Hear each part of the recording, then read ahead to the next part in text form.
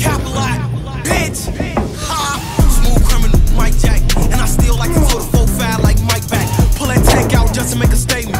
He gon' need a body bag or a nice sack. He a